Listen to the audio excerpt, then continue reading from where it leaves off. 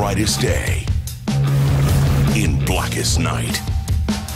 No evil shall escape his sight.